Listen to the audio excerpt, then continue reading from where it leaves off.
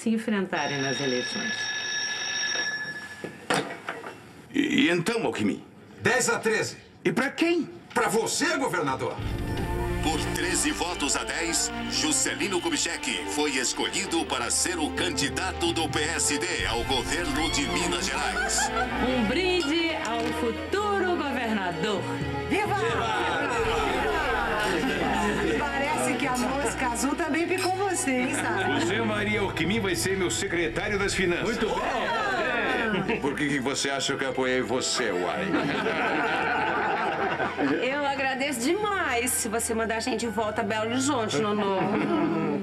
Ah, ah, não, não, não, não, não. Olhe pra mim que eu não vou fazer parte do seu secretariado. Não, não, não, não, não. Mas aquele nosso pacto ainda está valendo. O primeiro que morrer vem contar como é do outro lado. É, mas eu só volto se vocês pagarem a passagem. hein? Credo, gente, mas que conversa mais boba. Vocês aqui falando em morte no dia em que o Nonô está praticamente certo no Palácio da Liberdade. certo, ele estará quando for eleito pelo povo mineiro. Você acha que o Juscelino duvida do povo mineiro? Quem será seu adversário, não? O Gabriel Passos. Acabou de ser escolhido pela UDN. Meu Deus, eu não queria estar na pele da mamãe. Ora, Sara, sua mãe deve estar se sentindo honrada. Ganha o Nonô, ganha o Gabriel Passos. Ela vai ser a sogra do governador do estado de Minas Gerais. Mas viva o futuro governador!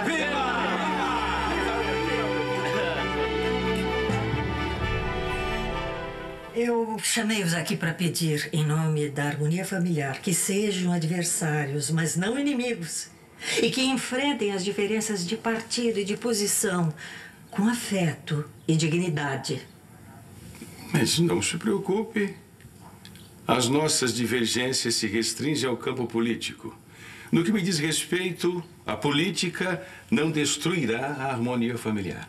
E como a senhora disse, somos pessoas bem educadas. E eu tenho certeza de que são também pessoas grandiosas.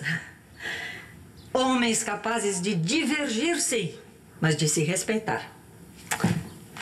Oh, meu Deus, minha santa Rita, eu venho de uma família de políticos. Me casei com um político, mas jamais pensei que um dia ia ter dois genros concorrendo para governador. A senhora não vai dizer qual de nós dois é o candidato da sua preferência? Os dois. E vou me abster de votar nessas eleições.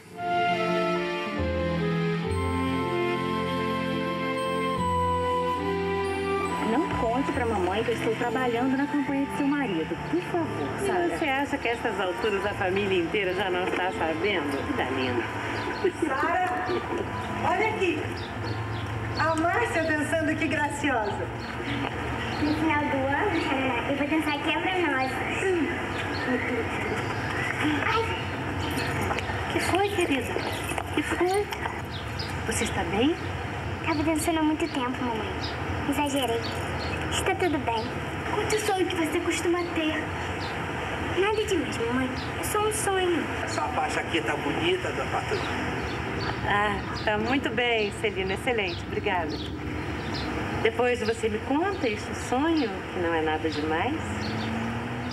Tá tudo muito bem. Agora eu só queria saber onde é que o senhor vai arranjar os recursos, né? Para cumprir seu programa de governo. Mesmo lugar de onde vieram os recursos para construir a Pampulha, com vontade, otimismo, inventividade, fé e esperança, Valadares. É. E você acha que esses 15 anos que eu passei à frente do governo de Minas, eu não abri mais estrada, não implantei mais indústria, não gerei mais energia, por quê? Você sabe muito bem que não foi por falta de vontade. É porque a dificuldade de transporte, somada à ignorância, tem lá suas conveniências políticas. O atraso fortalece os coronéis, transforma direitos em favores e a população toda num bando de cordeiros que vota em quem eles ordenarem. É, é, E você acha que, senhores coronéis, você vai conseguir se eleger? Sem o apoio deles, você chega ao governo do Estado? Pois Cada novo passo nos levará adiante, Valadares, e o progresso mudará esse estado de coisas. Ah, ó, você sabe muito bem que eu estou do seu lado. né? Mas você precisa ver as coisas como elas realmente são. Esse seu programa de governo é muito bom para discurso. né? Só que você exagerou por demais da conta. Ó, Você não vai conseguir cumprir seu programa.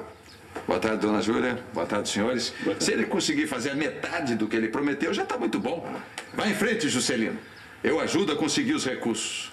Ah, só se for implorando um milagre para Nossa Senhora da Luz. Ué, e o que o meu filho fez na prefeitura não foi um milagre? E agora Juscelino vai fazer uma revolução muito maior no estado do que a que fez em Belo Horizonte. E não esqueça de melhorar a vida das professoras. É, elas cuidam do mais importante e ganham uma ninharia. Eu sempre disse nos meus discursos que sou filho de uma professora que ganha 120 mil reais por mês. Juscelino, nossa moeda agora é o Cruzeiro. Ou você aposenta de uma vez a dona Júlia, ou então aumenta o vencimento dos professores e aproveita e atualiza o salário dela. É, começou, viu? Bom, nós temos dois meses para ganhar essa eleição. Você vá conversar com Getúlio, porque sem o apoio do PTB vai ser difícil a gente ganhar.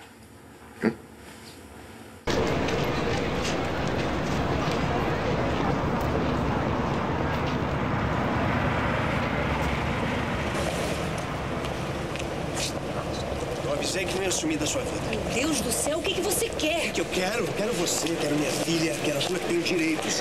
Me larga, Leonardo. Você não quer que eu largue você. Porque você não esqueceu como está nos meus braços. Ainda sou louco por você, Salomé. Sei que ainda sou teu homem. Sei que você sabe disso também.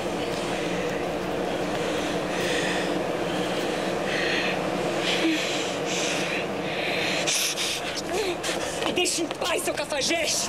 Se você me tocar de novo, eu chamo a polícia e denuncio você por atentado ao pudor.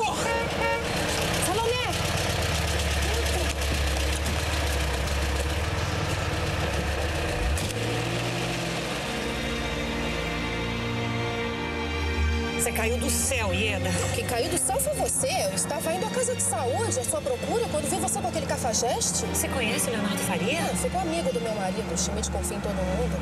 Os homens não têm sexto sentido, Salomé. Eu tinha que visitar mais de 200 cidades em dois meses, utilizando os mais variados meios de transporte.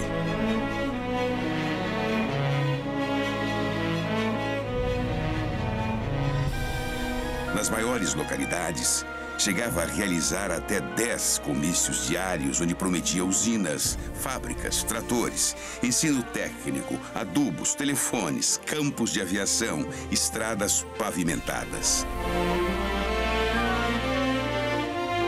Era enorme o impacto dos meus discursos, principalmente no interior, onde o povo estava acostumado à pregação doutrinária.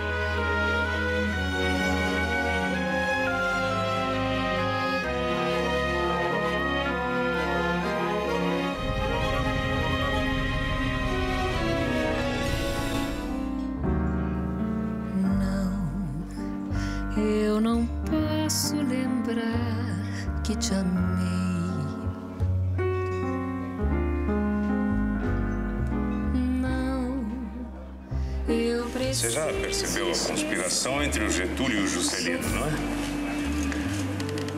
O PSD finge apoiar seu candidato à presidência da República, o pobre do Cristiano Machado, mas por baixo do pano apoia o Getúlio.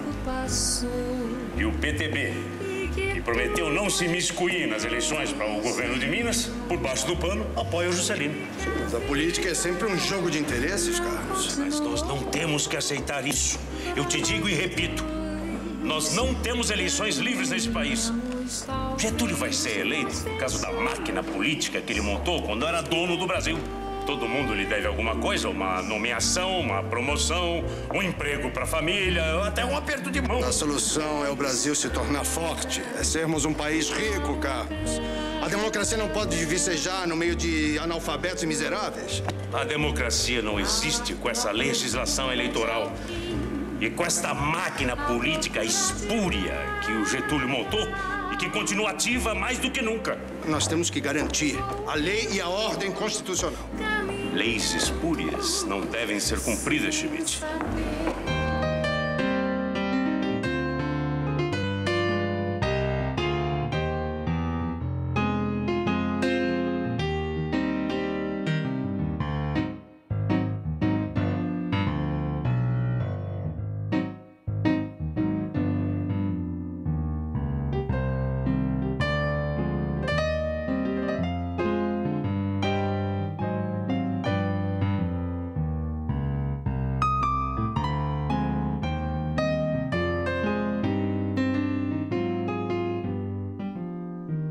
Bela mulher? Dora Amar, ex-vedete do Cassino da Urca. Jorginho Guine foi apaixonado por ela. Agora esse deputado está fazendo-lhe a corte. Quer que eu te apresente? Ainda estou me recompondo da minha viuvez.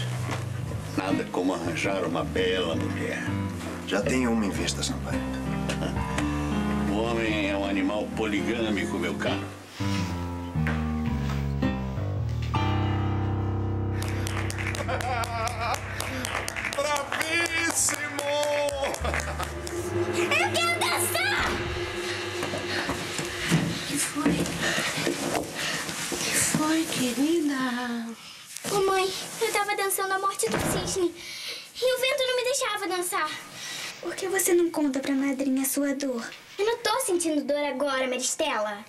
Dor é essa, Márcia? É uma dorzinha que eu sinto nas costas. É, é preciso ver o que é. Eu, eu vou levar você ao médico. Eu não quero ir no médico, eu quero meu pai. Seu pai está muito longe. A essa hora, papai deve estar voando, meu bem.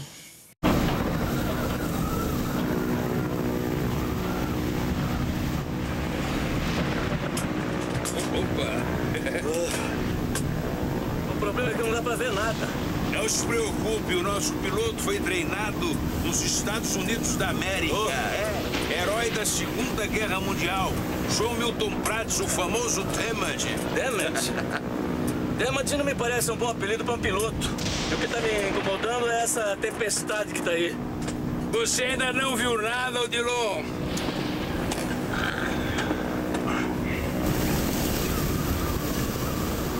Já dá pra ver o campo de aviação? Não, mas estamos nos aproximando. Olha o morro, Prates! Essa foi por pouco, hein? Damn it. Se o morro tá pra cá... Olha lá o campo. Onde? Ele vai se para aterrissar, doutor. É Nossa Senhora da Luz! Se eu escapar dessa, eu tô eleito!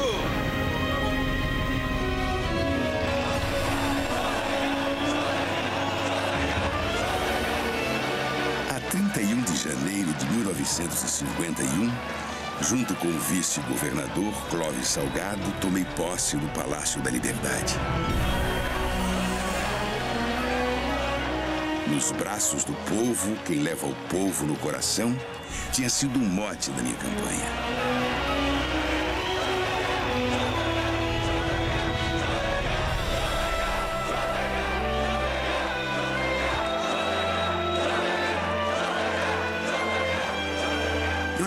Ser o governador do PSD, mas o de todos os mineiros.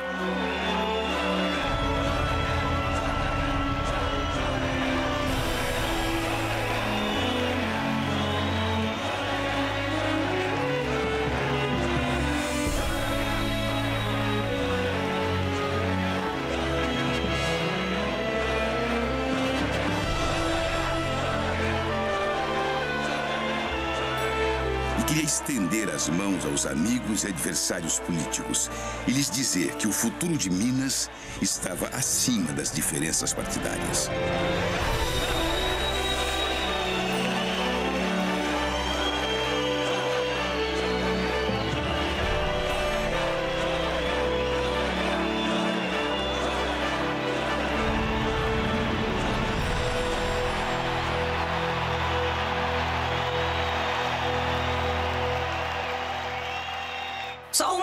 Coisa é certa na política, viu? É que o seu aliado de hoje pode ser seu adversário de amanhã. Mamãe, a senhora não vai ao palácio? Vai. Desculpe, eu não, sabia por favor, que você. Não, por favor, fique à vontade. A Amélia me disse que vocês vão morar em São Paulo. Uai, que novidade é essa, Gabriel? Fui convidado para ser diretor das indústrias Matarazzo. Eu acho que fazer bem passar uns tempos longe de Minas, longe da política. Eu gosto muito do Juscelino, mas a senhora há de compreender que, que nós, da UDN, não temos motivo nenhum para celebrar. Getúlio voltou! Ai, GG voltou pelas mãos do povo ao Palácio do Catete. Pelas mãos dessa gentalha do PTB, dessa escória sindicalista. É o presidente dos brasileiros, foi eleito democraticamente. Se vai fazer um bom governo, não sei. Na época de Dom Pedro II, o povo sabia. Baronesa, o povo nunca soube de nada. Esse país nunca teve bons governantes. A partir de hoje eu vou me vestir de preto. Hum, E vou andar de luto, fechado. Só uma grande paixão justifica o luto de uma mulher. Ou então a perda de um marido generoso. Além disso, o preto vai deixar você muito pálida, Abigail. Vai envelhecê-la desnecessariamente. Getúlio vai afundar este país, baronesa. Um governador que tem programa de governo. É praticamente um milagre. Você já viu isso, Fedro? Hã? Esse Juscelino promete.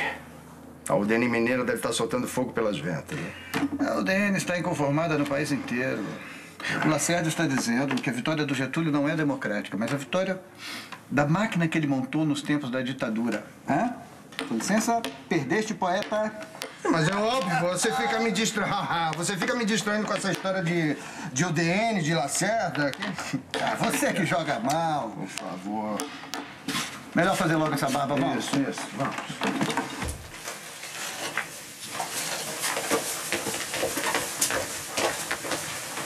Aqui que o papai vai trabalhar?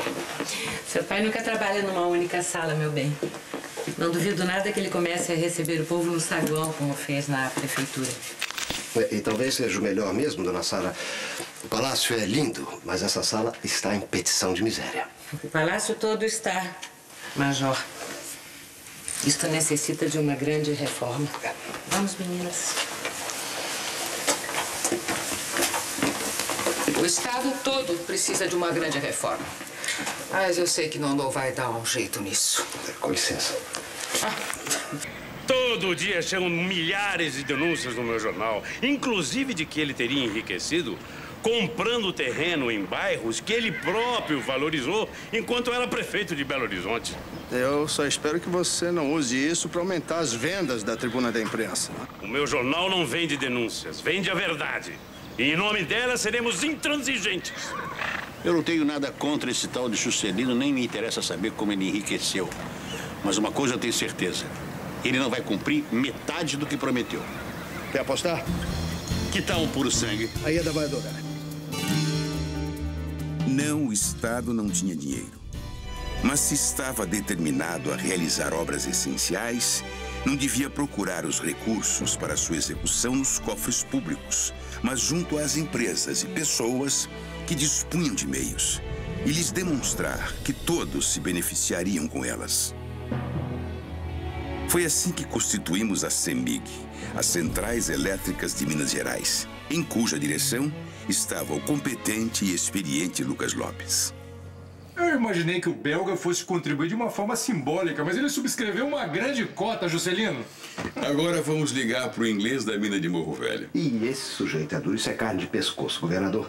Tá no Brasil há 20 anos, não fala uma palavra de português e fora a criadagem nunca recebeu em casa nenhum brasileiro. Ligue assim mesmo, diga que o governador quer falar com ele. Esse inglês já tirou muito ouro de Minas. Está na hora de ele devolver um pouco pra gente. Está muito caro, seu Fuad, muito caro. Eu preciso da sua colaboração para poder reformar esses estofados e fazer novas cortinas. O senhor acha que este palácio está à altura da dignidade do povo mineiro? Mate aquela barata. Ah, é isso. É isso que o senhor está vendo. Sabe quantas toneladas de lixo nós já removemos? Por isso, apelo aos seus bons sentimentos de imigrante que encontrou em Belo Horizonte um novo lar e aqui prosperou. Não sou eu que preciso dos seus tecidos para este palácio, seu Fuad. É Minas Gerais. Estão dizendo que a reforma do Palácio da Liberdade é digna do Fausto de um palácio de turco. Esse jornal fala mal de tudo e de todos, Abigail. Aqui, eu tenho adoração pelo Juscelino. Adoração. Ele salvou a minha vida quando era médico. Então, Abigail, falar mal dele é falar mal de mim, você entendeu? Falar mal por quê? Alô? Ouvi dizer que Juscelino fala um excelente francês. Napoleão também falava francês, baronesa. Telefone pra você. É da Rádio Nacional. Da Rádio Nacional? Da Rádio Nacional? Alô? Oi? Ela mesma. Sim. S- Sim. É? Imagina, claro. Não, gostei muito de saber disso. Não, ótimo. Não, muito bom. É, Quando é que eu posso começar? Tá combinado, então. Muito obrigada. Obrigada, meu Deus. Obrigada, meu Deus. Você vai cantar na Rádio Nacional? Eu vou ser atriz de radionovela, Gilmar. Mas como está almoçando? Governador, foi o que disse o Morton, que Sir Russell lamenta, mas não pode atender o governador porque se encontra à mesa. Mas esse sujeito explora a maior mina de ouro do estado e se comporta como se fosse um buana. Mas quem que ele pensa que eu sou? Onde ele pensa que está? O Brasil não faz parte da Commonwealth. Ligue para o cônsul da Inglaterra e diga que as portas deste palácio estão fechadas para os súditos de Sua Majestade. Cuidado para não criar um problema diplomático, Juscelino. Quem está criando problemas é este inglês. Onde é que ele pensa que está? Na Índia, no tempo da Rainha Vitória? E tem mais. Diga para o cônsul que a polícia mineira não moverá uma palha na próxima greve da mina de Morro Velho.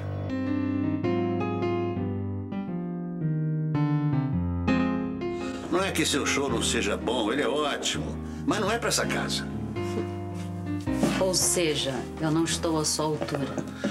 Dora, já foi o tempo em que um homem vinha em uma boate desacompanhado, ouvia duas músicas, tomava dois uísques e voltava pra casa. Hoje não. Hoje ele vem com a mulher. E um show de striptease choca a família. Olha aqui. Fica com isso aqui que isso vai te ajudar. Eu não quero seu dinheiro, Sampaio. Eu quero um emprego. Você foi meu primeiro homem. Tem obrigações comigo. Tá bom. Tá bom, eu vou ver o que, é que eu posso fazer. Esse ramo de show tá meio complicado atualmente. Deixa de orgulho bobo, pega esse dinheiro que você vai precisar dele. O que eu preciso é de um senhor que me ajude. Como você me ajudou quando me conheceu. Um homem que não queira só se aproveitar de mim, mas que goste de mim. Que tenha consideração por uma mulher. Esse homem existe. Tá lá fora esperando você. Chama-se Coronel Fialho.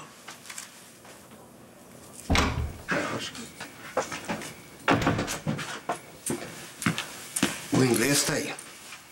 O cônsul? Não, o Sir Russell, da mina de Morro Velho. Manda dizer que o governador está jantando. Não, eu não quero me vingar dele. Eu quero arrancar dinheiro do sujeito. Manda o inglês entrar. Sir Russell nem discutiu. Subscreveu a cifra que eu lhe sugeri. E foi com subscrições como essa que a CEMIG saiu do papel e em poucos dias estava constituída. Agora, Lucas Lopes podia eletrificar Minas Gerais.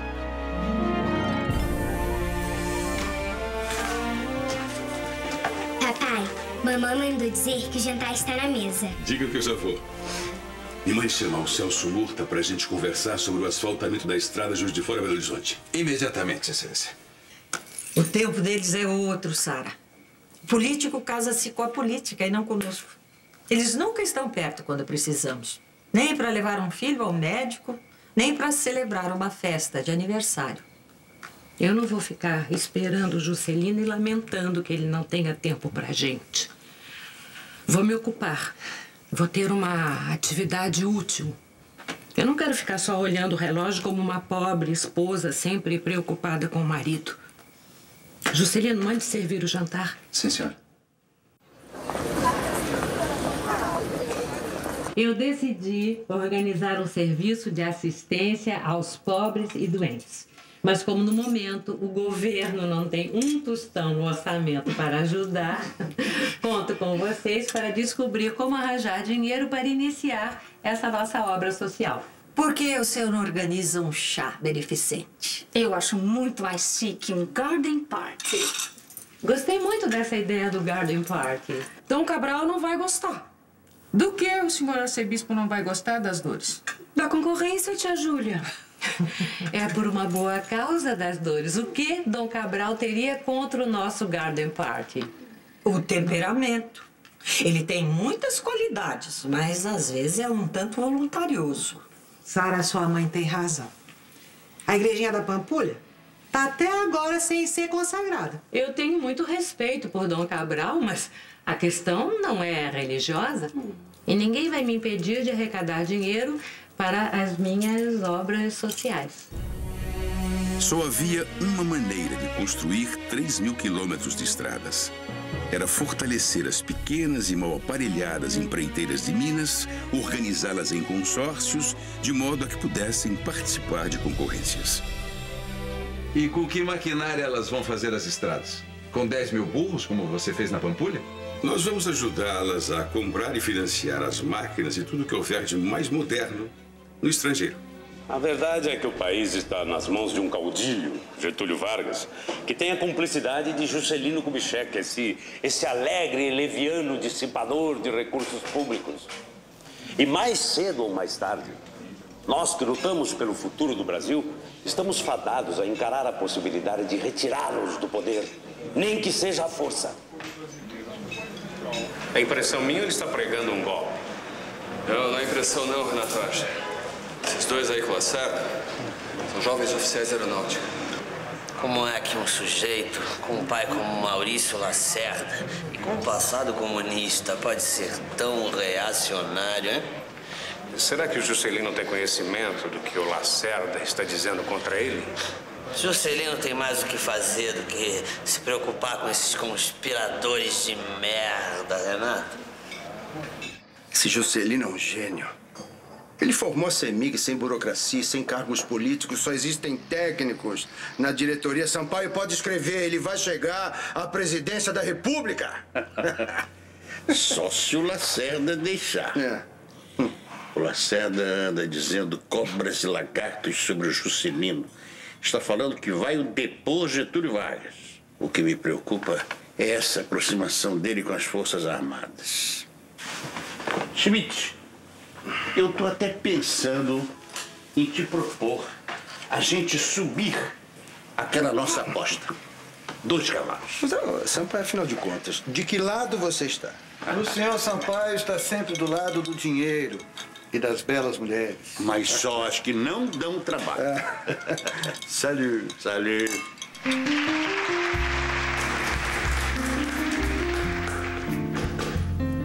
Já vai começar.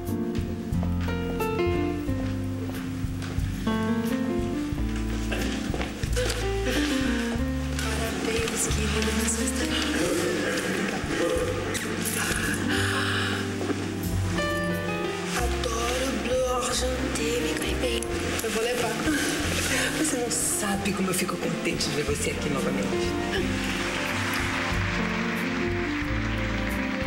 O que estava fazendo falta a ela era fazer compras e um pouco de conversa inconsequente.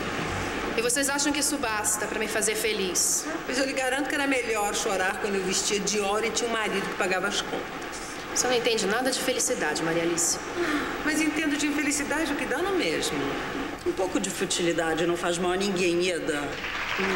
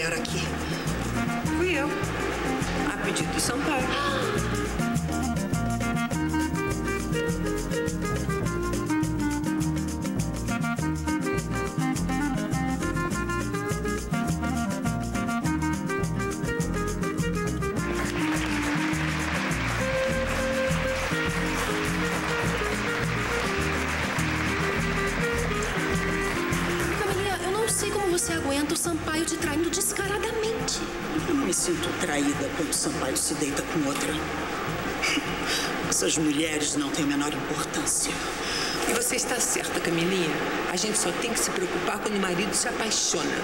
E eu digo isso por experiência própria, não é. Seu pai nunca vai se apaixonar. Você está morrendo de medo de ter a mesma sorte da Maria Alice. É exatamente isso que vai acontecer.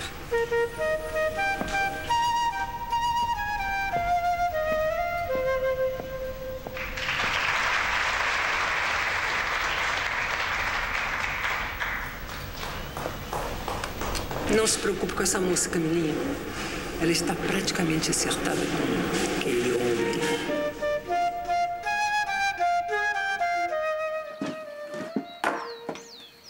Pois não?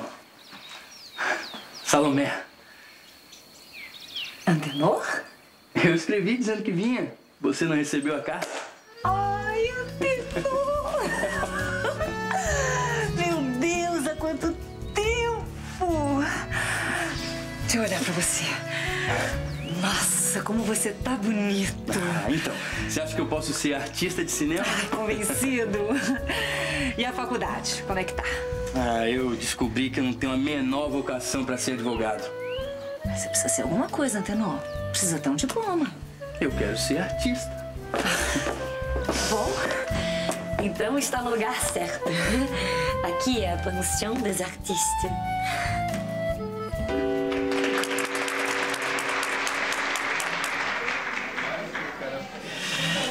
Você sabe tocar alguma canção de Juliette Gréco? Não conheço. Mas olha, acompanhei várias vezes o Jean Sablon no Cassino da Urca. Serve. Toque qualquer coisa que me lembre Paris. Eu acabei de chegar e já estou morrendo de vontade de voltar pra lá.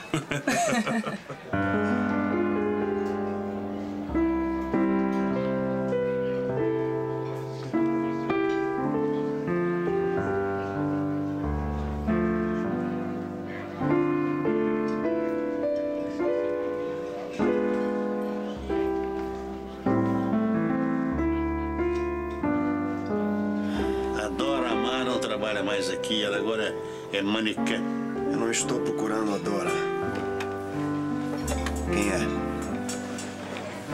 Fique longe da minha filha. Ela não é pra você.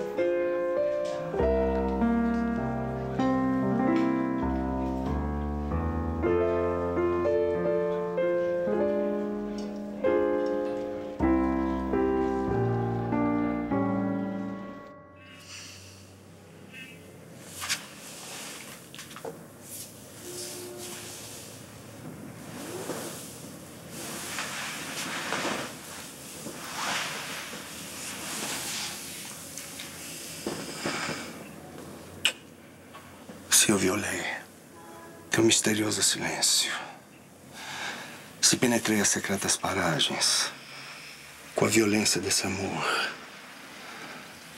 com a fúria dessa posse desesperada.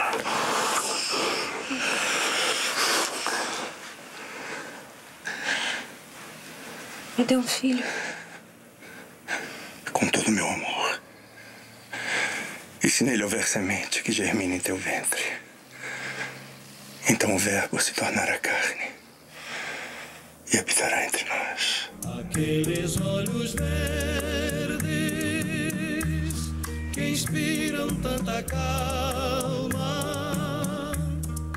Não, mamãe, não, eu não vou mudar os meus planos porque Dom Cabral desaprova a nossa festa.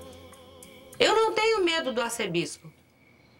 Se não vier ninguém, vou fazer esse garden party, nem que seja apenas para as pessoas da família.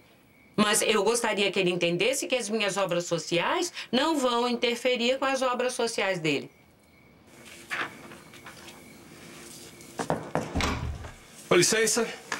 Trouxe uma visita pro senhor.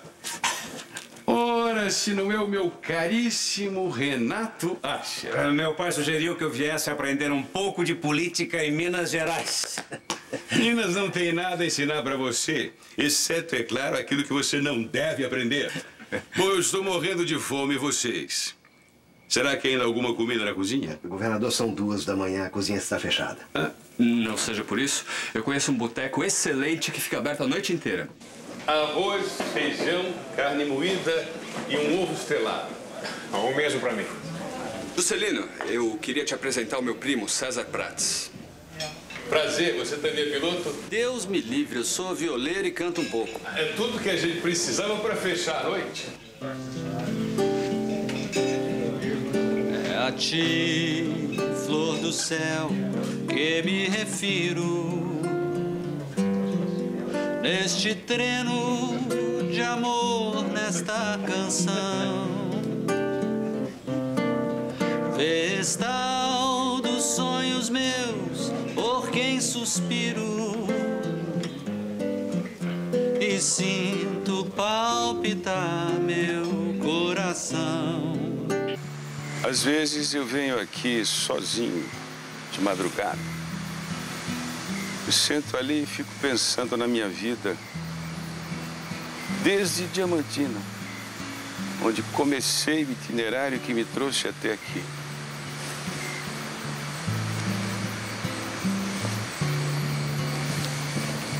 Então eu olho para o céu. Sou tomado por uma grande sede de infinito. Para onde a vida me levará? Qual será o próximo passo? Para a presidência, qual é a dúvida? Não é hora de falar nisso agora. Ainda há muitos obstáculos a vencer antes de chegar lá. O maior será o Carlos Lacerda, pode estar certo.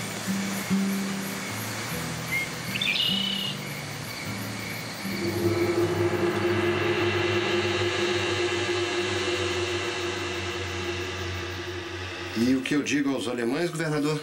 Que o Estado cumprirá suas promessas e eles não se arrependerão de instalar a siderúrgica em Minas Gerais. Ele está lá embaixo. Ele quem, Carlos Murilo? Eu não sei se eu fiz mal em dizer que o senhor estava, mas... Deixe de rodeios e diga logo quem está lá embaixo. O Carlos Lacerda. Ele disse que quer falar com o senhor. O sujeito disse que vinha e veio mesmo. Que diabos ele quer comigo? Eu vim pedir o apoio de Minas para acabarmos o mar de lama que aí está. O Getúlio abriu o caixa do Banco do Brasil para o Samuel Weiner montar a última hora e falar bem dele. Mas o Samuel Weiner não era seu amigo de juventude? Ele, Jorge Amado, Rubem Braga, Moacir Werneck... O que eu vim discutir, senhor governador, não é a minha relação pessoal com o Weiner. Eu vim discutir a operação ilegal do Banco do Brasil. A última hora foi montada e está funcionando com dinheiro público. Isso é contra a lei. O senhor me desculpe, doutor Lacerda, mas eu não posso participar disso. Primeiro, porque não há provas. E segundo, porque eu confio no presidente. Naturalmente. O que seria do seu governo se não fosse o apoio de Getúlio? O presidente não apoia a mim. O presidente apoia Minas Gerais. Foi uma honra receber o doutor Lacerda. Nem sempre a omissão nos isenta, doutor Juscelino. Nem sempre a lei é invocada em nome do que é justo, doutor Lacerda. Ele não vai perdoar você jamais. Imagine se ele soubesse que o Tancredo Neves me procurou para me dizer que eu sou candidato do Getúlio. O Lacerda é muito perigoso. Ele tem o dom da palavra e escreve magistralmente. Ele tem muito poder de fogo para destruir o presidente. Não é preciso muito para destruir o Getúlio. Ele tem muitos telhados de vidro, começando pelo guarda-costas. Por que você não aconselha se livrar do Gregório Fortunato? Seria inútil. O Gregório é bronco e sinistro, mas tem sua utilidade. Eu vou para o Rio. Eu espero voltar a tempo para o seu Garden Party. O Juscelino é um governador admirável e Dona Sara uma notável primeira-dama. Eu me sinto no dever de defendê-los contra o provincianismo reinante em Belo Horizonte. Mas escute, por que um arcebispo estaria contra um garden party? Será que ele pensa que é uma festa como carnaval? eu não sei o que ele pensa, mas não há um único dia em que eu não critique no jornal a mentalidade provinciana. Tome. Leve isto para Dona Sara. E isto também. Você vai precisar de suas joias. Doe sua aliança. Eu não vou doar a minha aliança. Vai sim, porque daqui a uns tempos você não vai precisar mais dela.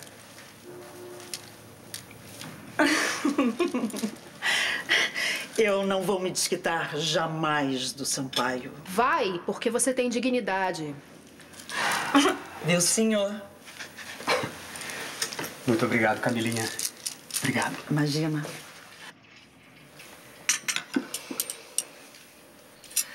Salomé, você Você não tem família em Uberaba? Tenho. O Zinc, pai da minha filha. Por quê? Aconteceu alguma coisa? Parece que o Gregório Fortunato bloqueou o quarteirão da casa onde o Getúlio estava hospedado. E enxotou uma velhinha e uma ceguinha que tinham ido lá para falar com o presidente. Cheirinho bom de bolo da Guiomar. E você acha que eu fiz pra quem? Antenor, já falei com a baronesa, tá tudo certo. Você vai ficar aqui. Agora você precisa estudar ou arrumar um trabalho. Eu quero trabalhar na Rádio Nacional. Hum. Eu também já quis ser artista. Hoje eu sou enfermeira. Até mais tarde, querido. Até mais tarde, Abigail. Vem. É, Bom, se quer trabalhar na rádio, já tem um trunfo.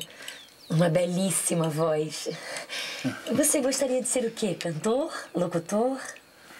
Bom, eu queria ter um programa como o César de Alencar. Mas não estou em situação de escolher, não é? Eu aceito o que vier. E em que emissora a senhorita trabalha? Hum, não. Quem trabalha na rádio é Carmen Dulce. Eu sou bibliotecária da Câmara Federal. É, Quando quiser assistir uma sessão, é só falar. Até logo, entendeu? Até.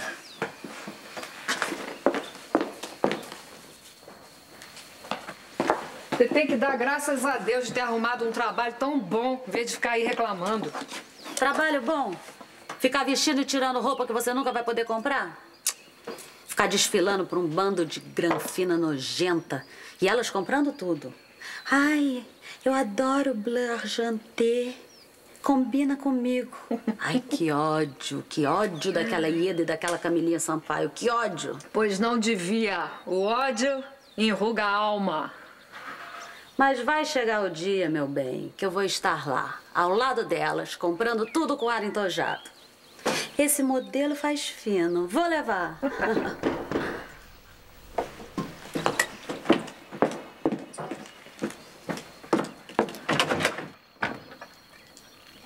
Olá. Eu soube que a senhorita trabalha na Rádio Nacional.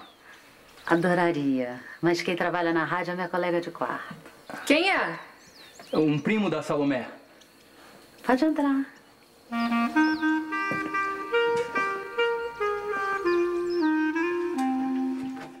Estou com medo, Edgar. Só nós dois aqui na cabana de caça. E está começando a ventar muito. Não precisa se preocupar, Helena. Logo vai começar a chover.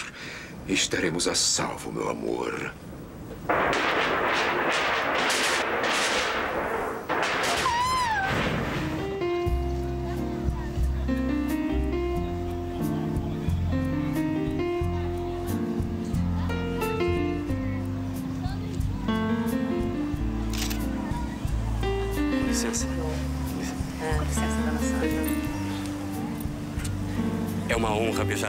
Tão esplêndida primeira-dama. Cuja notoriedade ultrapassou a fronteira do estado e já chegou ao Rio de Janeiro. Obrigada. A alta sociedade carioca a saúde, dona Sara. Muito obrigada. Gentil da sua parte. Pois não, pois não. Já, já está acomodado em alguma mesa? Não, eu acabei de chegar. Vou levá-lo. Esse seu broche é lindíssimo. Obrigada. Aquele não é o Vilcinho? Wilcinho, Thales. Não inventa moda. É. Deu pra tomar chá agora, Thales? Estou estranhando, hein? Não quer experimentar? É um legítimo chá escocês. Ah, agora só falta o inglês da Amor Velho pra eu me sentir na Grã-Bretanha. Mas eu prefiro com gelo, tá?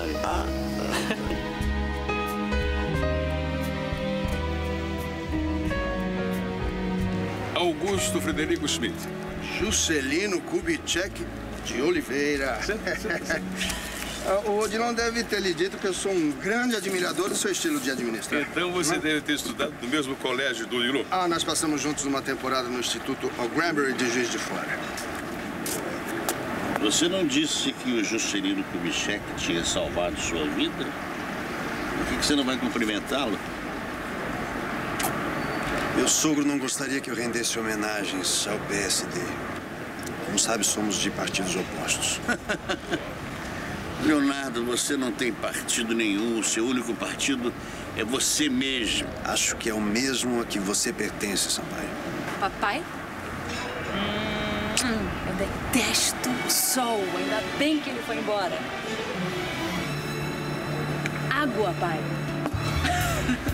Tô fazendo uma pausa. Você é amigo do meu pai? O Leonardo não tem amigo, meu amor. Não é verdade. Sou amigo de muita gente. Eu vou me refrescar. Não sei que intensa magia teu corpo irradia que me deixa louco assim, mulher. Não sei. Na Europa estão chamando esse traje de biquíni por causa da bomba atômica. O mundo está mudando de uma maneira vertiginosa. É verdade. Menos o presidente Vargas. Cá entre nós, ele anda padecendo de uma doença, uma doença não física, mas da alma. Alguma coisa se perdeu inexoravelmente na solidão dos Pampas, meu amigo. Você sabia que a única pessoa a visitá-lo era o Jango Goulart. Por isso se tornou o herdeiro político dele. Mas o próximo presidente será você. E eu vou ajudá-lo a se eleger.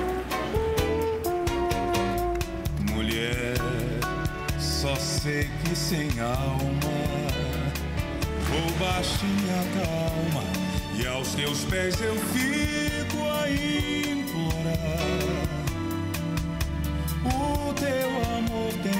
tem um gosto amargo e eu fico sempre a chorar nesta dor. Por teu amor, por teu amor, mulher. O teu amor tem um gosto amargo e eu fico sempre a chorar nesta dor. Se o PSD indicar você, é claro que você vai ser o próximo presidente. Mas eu duvido que o Bias Fortes e o Valadares gostem dessa ideia. Mas eu gosto. E você também.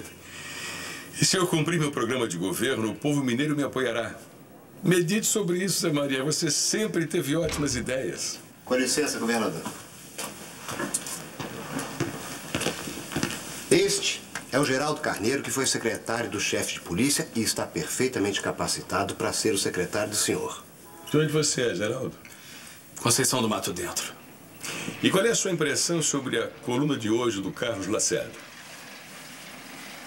Com todo respeito, governador, eu acho que se tudo correr bem, ele vai continuar falando mal do senhor.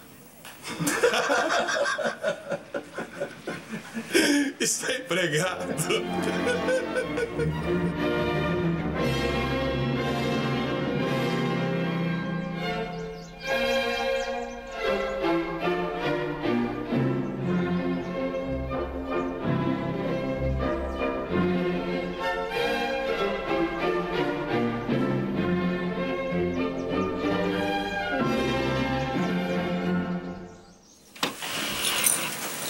Parou, meu bem? Estava tão bonito. A professora ainda não ensinou toda a coreografia, mamãe. Ô, Márcia, por que não diz à sua mãe que está com dor nas costas? Não dá quase nada, tio Júlio. Ela tem uma forte escoliose, Sara. Você precisa levá-la ao médico. Agora não. Depois da festa da escola. Por que não deixa a menina dançar? Ela pode ter de parar com o balé por algum tempo. Isso é verdade, mamãe? Não, querida, não sei. Ah, vamos ver primeiro o que você tem.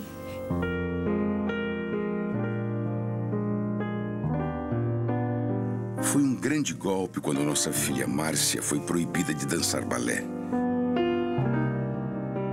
Como explicar a uma criança que ela tem uma limitação e não poderá mais fazer o que fazem as crianças saudáveis?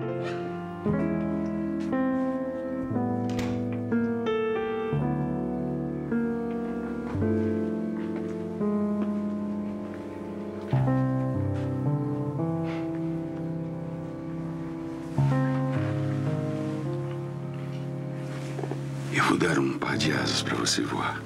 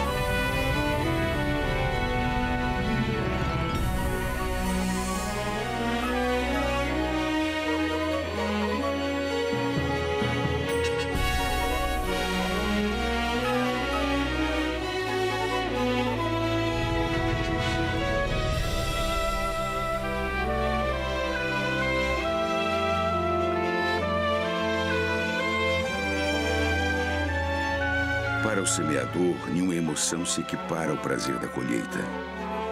Durante a campanha política, eu tinha prometido o que meus adversários diziam que eu jamais poderia cumprir. Mas no terceiro aniversário do meu governo, comuniquei aos meus conterrâneos que a missão a que me havia proposto tinha sido realizada. As estradas e o potencial energético, os postos de saúde e o número de crianças matriculadas, as pontes construídas e as pontes em construção, os campos de pouso, a produção agrícola mais abundante e rendosa, o apoio à pecuária, a industrialização. A missão havia sido árdua, mas tinha sido cumprida. Um futuro novo se descortinava para os mineiros. E eu queria que um novo futuro se descortinasse também para todos os brasileiros. Bota o retrato do velho outra vez, bota no mesmo lugar. Bota o retrato do velho outra vez, bota no mesmo lugar. O sorriso do velhinho faz a gente trabalhar. O sorriso do velhinho faz a gente trabalhar. Isso, aproveitem para cantar, porque o governo do Getúlio está com os dias contados. Pois ele já disse que só morto sai do catete.